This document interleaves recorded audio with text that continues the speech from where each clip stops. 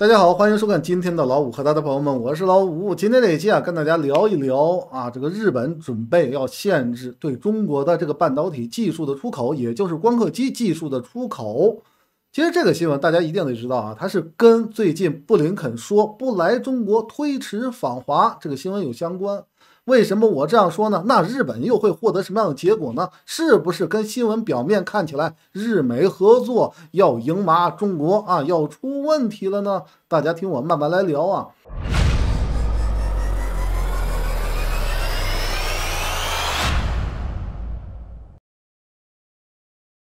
首先跟大家聊一下啊，为什么说啊日本要对中国限制什么这个光刻机技术的出口，跟美国相关？为什么啊？跟又跟那个布林肯啊推迟访华相关？之前跟大家说过嘛，美国人的这种态度很简单，那就是我又赢了，我美国又占据了有利的位置，我不去你中国，我不会再像之前那样什么去廊坊、去天津受你的羞辱了，我美国啊又又硬了起来，对不对？我美国又可以了。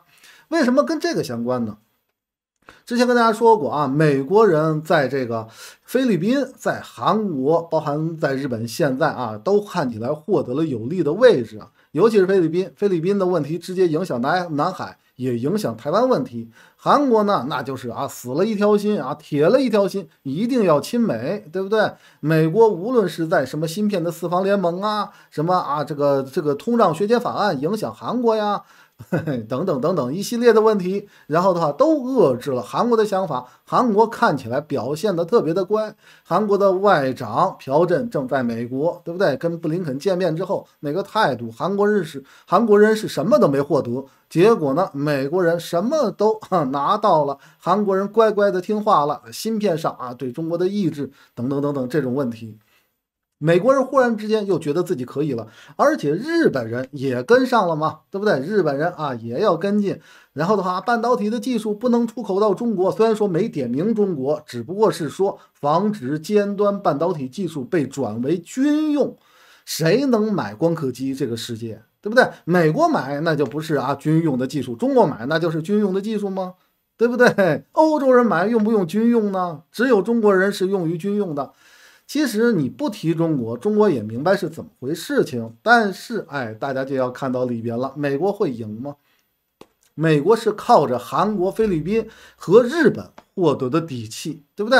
韩国爱美国，菲律宾忽然之间跳反，美国人重新又觉得自己可以了。那不是因为美国又重新自己这个国家啊经济的问题解决了，通胀、通货膨胀的问题解决了，美国的加息又赢麻了，都不是这个样子。而是因为其他的国家做出了一些有意思的操作，美国人觉得又可以了。其实就像我之前跟大家说那样，咱们就要正视问题，解决问题嘛。菲律宾与韩国聊过了，如何解决菲律宾，如何解决韩国，跟大家聊过了。那日本这边又来了一个新问题，首先咱们就得正视日本人是为什么这样去做。日本人真的是啊，这个特别亲密的站在美国人身边吗？其实大家可以看一看这个日本的这个官媒党媒喉舌共同社，然后他报道这个新闻，我觉得特别有意思的一点啊，他引用了一张图片。大家都知道日本人是一个特别暧昧的一个民族啊，然后他在表达自己态度的时候，他其实都是非常非常绕圈儿。共同社这个新闻，新闻内容、新闻正文里边你看不到什么特别的东西，但是他引用了一张照片，我真是觉得啊特别的好玩。他引用的呢，他是啊这个岸田文雄与美国的老拜登见面的一张照片，围炉的谈话，两个人坐在沙发上，后边就是一个火炉，对不对？围炉的谈话。然后呢，啊，这个双方啊伸手握在一起。为什么跟大家说这张照片有意思呢？这张照片所选取的角度啊，是两个人啊正在握手，可是握手呢，正好背后是那个火啊，那个火炉那个火，握手象征着团结。可是呢，你从这张照片上看起来像是什么呢？像是啊两人握着的手被那个火焰所围绕啊。证明什么呢？中呃日美之间它也不是一条心的。之前跟大家讲过，日美之间问题大了去了。日本人想要脱离开美国的管控，美国人就是不愿意让日本人脱离开，对不对？只好维持一个表面的一个平衡，表面盟友，对不对？然后表面哥们儿啊，然后就这种感觉。所以说，从这种照 这张照片，大家也可以看得出来。为什么跟大家说啊？看起来日本人五五又渣渣，对不对啊？限制什么这个高端的这个这个尖端的半导体技术啊，然后呢被转为军用，是冲着中国而来。其实咱们从这个新闻就可以看到之前的所谓的美日和芯片同盟的一些问题。关于美日和的芯片同盟，有一个非常有意思的点，之前跟大家也提到过，那就是啊，这三方啊都不透露啊，我们达成什么样的协议啊？都说啊，尤其是美国人说，我们达成了一个重要的协议啊，对中国如何如何了啊？这个这个是我们啊团结紧密的团结在一起，这是代表着我们是一个胜利的盟友，对不对？然后团结的盟友，但是就是死活不公开这个啊协议的内容到底是什么？其实对于咱们中国人来说无所谓，你哪怕说所有的光刻机都不卖给我们了，我们也是铁下一条心，自己研发自己的这个芯片的技术的产业链，对不对？这个东西没有任何的改变。可是啊，对于中国没有多大影响的一个事情，你为什么不公开呢？这是一个非常有意思的一个现象。之前跟大家介绍过，为什么不公开？日本、荷兰是什么？是竞争关系嘛？是同行，同行都想死同行，同行全死完，我就剩我一个，我就赢麻了，市场全是我的嘛。美国为什么不公开？再跟大家问一个问题，其实很简单，日荷之间有矛盾，尤其是在光刻机这个问题上面。大家都担心什么呢？都担心我如果跟啊，我如果付出的东西更多，那就有利于对方了。都在啊，小心翼翼的提防着啊，这个对方，荷兰提防着日本，日本提防着荷兰，就是这种状态。所以说，只好什么呢？我们达成这些协议啊，我们不公开，对不对？我们不公开，我们不公开，会有这个什么样的结果啊？会有一个什么样的结果？那就是啊，那就分而化之嘛。对不对？就像之前跟大家介绍那样，咱们的秦刚与荷兰的这个副首相啊外相通话，谴责了一顿日本。哪怕说你们达成了协议，只能往中国卖七纳米以上的低 UV 的光刻机，也就是比较落后制成的光刻机，也没有任何的关系。我只从荷兰卖，你日本急不急？对不对？总而言之，我有一百种方法玩儿你。日本这个时候做出了这种态度，是不是有利于美国？是有利于美国。美国啊，获得了一个十足的一个底气，对不对？啊，我不布林肯，我不去中国了，对不对？你中国这个时候得求我了，我才不要去你中国受辱呢，对不对？然后的话啊，但是的话，大家得知道啊，这就代表什么呢？其实美日和三方各有小九九，他们的目的是不一样的。荷兰是最不愿意，然后的话跟中国的贸易啊，这个断掉与中国的贸易。尤其是在光刻机这块，为什么中荷之间没有任何的矛盾，对不对？就是生意上的往来。中国跟荷兰离那么老远，又没有什么多大的一个矛盾，干嘛要啊让我荷兰人少少赚钱呢？美国呢想要抑制中国的发展，日本呢，日本也不想赔钱，但是呢，他忌惮中国，他又想脱离开美国的管控，日本人又忌惮忌惮中国在二战历史上面跟日本较真儿，为什么呢？之前跟大家介绍过，日本人除了自己那四个岛，对不对？四个本岛，然后其他那些岛，包含冲绳，包含琉球，然后的话，日本人都是啊得位不正的一种状态。你没有一个非常十足的理由，你占着这些地方啊，去看一看二战的开罗宣言、波茨坦公告，大家就明白了。这就是日本又忌惮中国，又想脱离开美国管控的一个想法。所以说，美日和三方想法不一样，就都不到一起来。三方是各有各的想法，所以说只好啊不公开，不公开，咱们达成一个面上的一个啊平衡。日本人这个时候开始喊了啊，我会限制什么高端的啊尖端的半导体技术转为军用等等等等等等等 这种问题。然后的话，想要影响荷兰，但是荷兰人。会跟着日本人走，日本人这个新闻其实态度大于什么呢？大于内容。为什么？因为你达成了协议，你执行协议就行了。可是日本人透露出来了另外一个问题，那就是什么呢？那就是我接下来还要跟啊我日本国内的这些企业沟通，尼康啊，对不对？佳能啊，跟这些企业沟通，沟通完了之后呢，我再立法，对不对？然后的话，最快啊，今年的春天能够执行。日本人都把实话说出来了，你达成什么协议了？你达成了协议，你干嘛还要沟通呢？沟通完，沟通完了之后，为什么还要立法呢？你直接用行政命令的方式，然后的话啊，来推行这个事情不就可以了吗？为什么绕那么大圈呢？嘿嘿嘿大家就看清楚这里边有意思的一个一个一个情况了吧？美国人忽然之间有觉得自己可以了，日本人好像站在美国人身边。日本人愿意吗？对不对？其实啊，关于刚才跟大家说啊，菲律宾、韩国咱们都有办法对待，日本咱们同样也有办法。什么办法？其实很简单，你日本想要什么嘛？这是一个非常 非常直接的一个答案。日本人想要想要的啊，最最理想的日本那个国家的方向是什么？其实大家大家看一看日本国内，不管是啊自民党内部各个派阀、各个派系互相的争斗。啊，包含啊，自民党之外，日本的其他那些小政党，对不对？也有各种各样的争斗，但是他们之间都有一个哎共同的一个要求，这个要求是想要成为一个正常的国家。这个东西是日本的最大的公约数啊。我们想要成为一个正常的国家，它有一个理由是什么呢？我们是一个和平的国家，而且我们是一个唯一的原子弹的受害者呀，核武器的受害者呀，我们最可怜。对不对？我们又善良又和平又可怜，然后的话，我们想要成为一个正常的国家，保护自己嘛，对不对？这就是日本人最大的那个愿望。这个愿望如何实现呢？首先是美国，对不对？首先是你美国要脱离开啊日本的管控，然后的话要啊要放开这个日本，对日本放手吧，对不对？这是美国。第二是钱。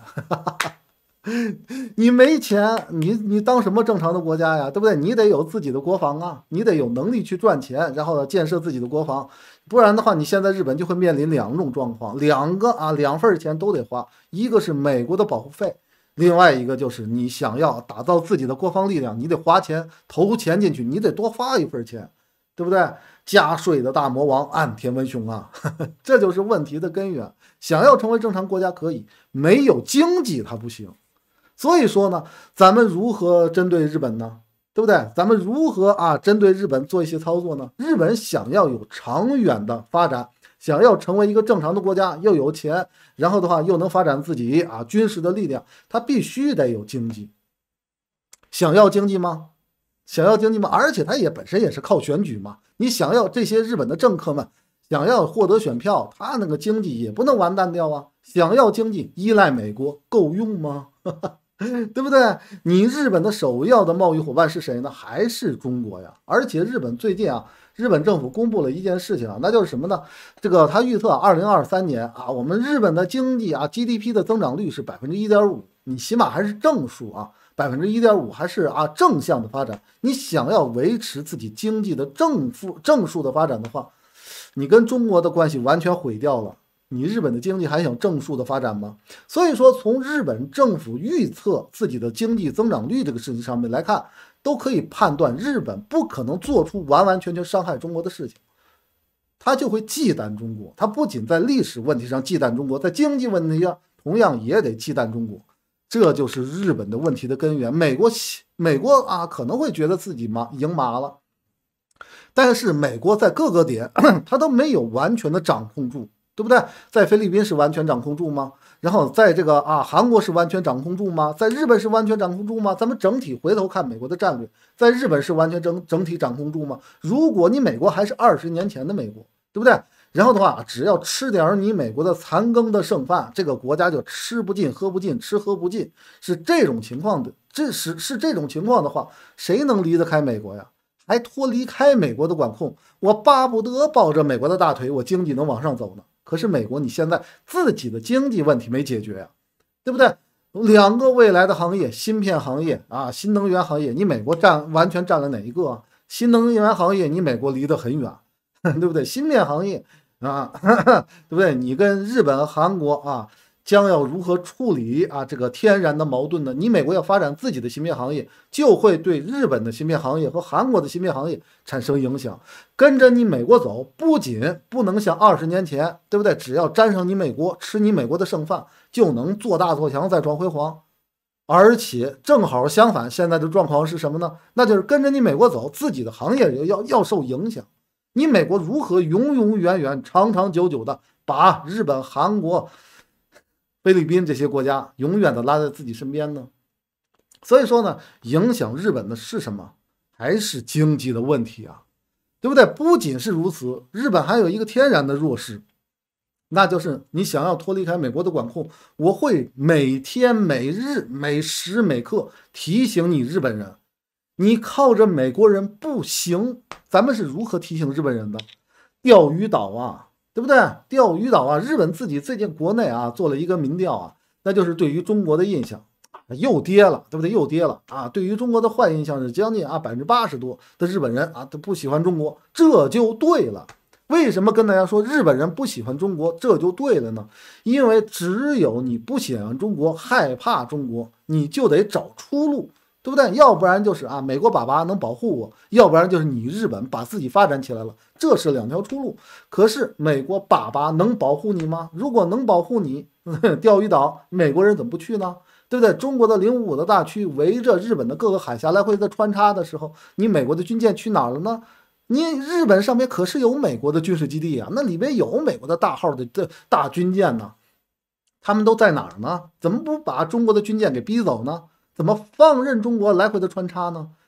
对不对？美国可靠吗？那美国如何可靠呢？对不对？美国想要赢中国，其实归根结底的这个这个手段，不是说日本、韩国、菲律宾倒向美国，而是美国把自己发展起来。且不说经济问题，就说军事，对不对？你的阿利伯克级行不行？你就看一看中国最近啊，不，一个船坞五艘军舰同时造，一个船坞八艘军舰同时造。零五四 B 新型号它又来了，零五二 DL 又造一大堆，你美国怎么办？对不对？你美国有什么船能够跟中国这些啊？对不对？零五四 B、零五四 A、零五二 D、零五二 DL、零五五能够比一比？靠你的阿利伯克级吗？对不对？靠你的滨海战斗战斗舰，靠你的这个朱姆沃尔特够用吗？为什么不造了呢？你的朱姆沃尔特为什么不造了呢？你的滨海战斗舰？那么的好用，不是成天啊靠着自己的媒体吹我美国的啊这个朱姆沃尔特呢世界第一名的驱逐舰，啊第二名的才是中国的零五五，你吹你吹可劲吹，为什么不造呢？对不对呀？你造了之后把中国的军舰全打走，对不对？全击走，那你就硬了呀？怎么不弄呢？归根结底，美国出了大问题啊，它的军事实力上不来，不仅仅是船的问题，包含船上所用的这些导弹都是如此啊。这就是美国最大的问题，大家明白吗？这就是美国最大的自己的实力正在往下去掉。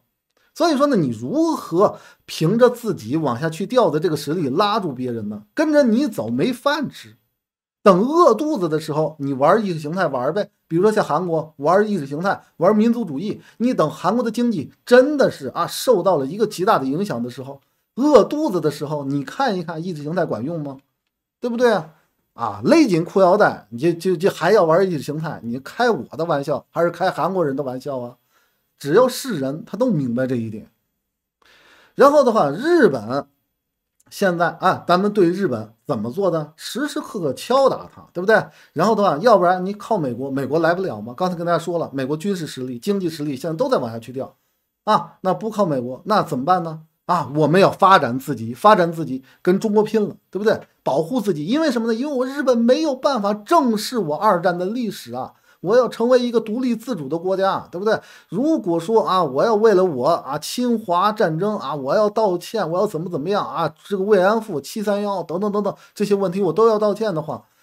那中国对我予取予求啊，对不对？那我还那几打造了几十年的，我是一个和平的国家，对不对？我是受害者，日本人是受害者，那形象瞬间垮塌，对不对？明明是一个施暴者，把他把自己弄得那么可怜，然后的话，那日本人就没办法正视这些，而更不要说除了日本的那四个本岛，那其他岛全都是啊，那个 没有任何法理支持你站着，对不对？更不要说那些地方了。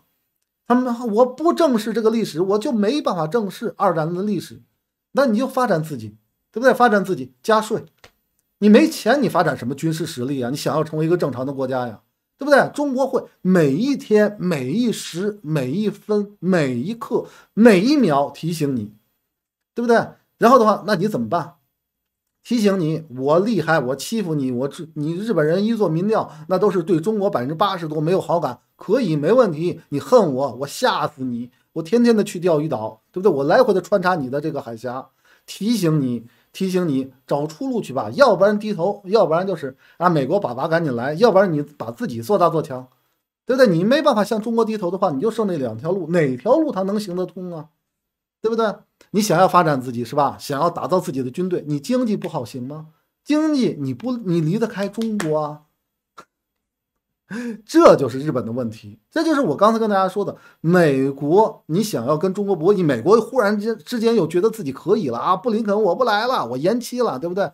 看起来呜呜又喳喳，好像自己又获得了什么啊？菲律宾、韩国、日本的支持，每一个点都是一大堆的问题。对于美国来说，美国最大的问题是什么呢？美国是没有解决自身能力的问题，永远的转移矛盾，对不对？往外去转移。你美国堂堂的美利坚呐，现在竟然因为几个啊芝麻绿豆大的国家，然后的话，他的转向获得自好像自己啊又得了什么啊这个便宜，那那你美国就这么认为就行了，对不对？你像菲律宾有东盟先收拾，东盟自己最近在开会，人家印尼的外长都开始说了，赶紧把南海行为准则给谈判谈下来，对不对？什么意思啊？菲律宾别再挑事儿了。乖一点儿，对不对？别再挑事儿了，再挑事儿，我们啊，东盟这其他国家也护不住你啊。哪怕是咱们是一个盟友啊，中国真的是要折腾，谁能拦得住啊？东盟这几个国家，谁能拦得住啊？对不对呀？那不是给中国理由啊？咱们就疯狂的建岛就行了吗？对不对？就围着你菲律宾建，我看看你菲律宾能怎么着？对不对啊？你菲律宾蠢就蠢在这儿。为什么之前做菲律宾的这个新闻有点儿，有点火？为什么的？这损人不利己啊！这种事儿，你坑死你自己吧！先先东盟收拾，对不对？反正是啊，你菲律宾是不是认为跟中国签了一大堆的协议啊？对不对？要什么新能源也要支持你啊？没这一说了。中国支持东盟里面其他的国家，那些国家会不会向你菲律宾施加压力啊？一样的道理，你自己不要这个钱，排着队有人要，对不对？排着队有人想要这些东西。那些国家，东盟的其他那些国家将如何对你菲律宾施压？你自己琢磨，对不对啊？啊，你菲律宾啊，那个那个啊，脖子特别的硬，对不对？然后就是不低头，可以啊，那就建岛。中国等到那个时候建岛的时候，东盟这些国家想协调，协调不下来的时候，人家死了这条心的时候，中国建岛的时候，其他的国家也不会吭声。这就是根源，这就是根源。你菲律宾躲在美国那边有用吗？美国去南海跟跟跟跟解放军来那么一下啊？为什么尼米兹来了一天，第二天就跑了？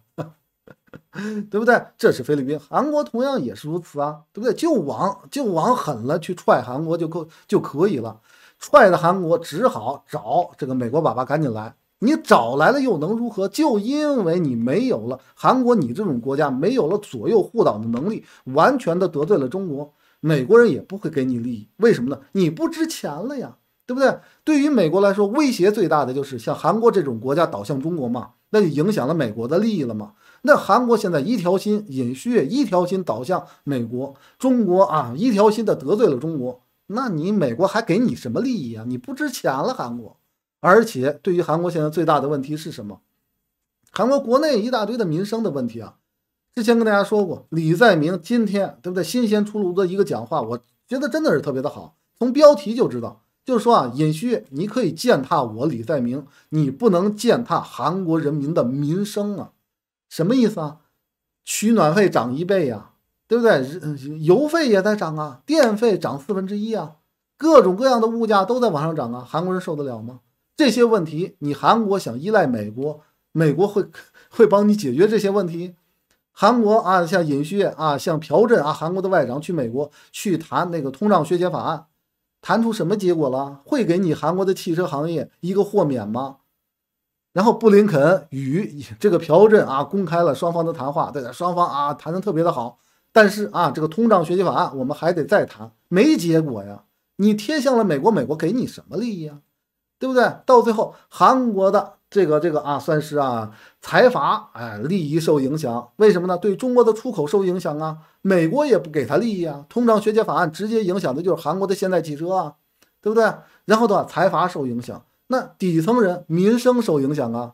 这个啊，取暖费用涨一倍，电费涨四分之一，对不对？燃气费涨，然后运输费涨，底层老百姓也受影响。韩国这个国家，你就等着看就行了。你说美国，你指着这几个国家。跟中国拼，觉得自己又行了又硬了就可以了吗？大家得知道，这个中美博弈归根结底是中美的博弈啊，中美实力做对比啊，对不对？然后的话啊，中美谁实力强谁说话算嘛。结果呢，美国现在只能指望日本、韩国也菲律宾这些国家，那你觉得美国是能够有前途吗？而且最归根结底的一个问题就是，菲律宾、日本、韩国如果配合你美国。啊，这个国家的经济往上走，国家的实力往上去走，国家的科技往上去走，国家的军事能力往上去走，那可能对不对？那咱们中国人要担心。结果呢，大家看到的是一个什么样的现象？韩国的经济会往上走吗？日本紧贴美国的话，日本的经济不受影响吗？菲律宾做出这种损人不利己的事儿，东盟会饶了他吗？跟中国的合作啊，将要面临一大堆的问题。那中国与东盟其他的国家合作的话，不跟你菲律宾合作了，那你菲律宾将会面临什么样的结果呢？其实咱们都可以慢慢看下去啊。其实这就是中美博弈的一个方向，对不对？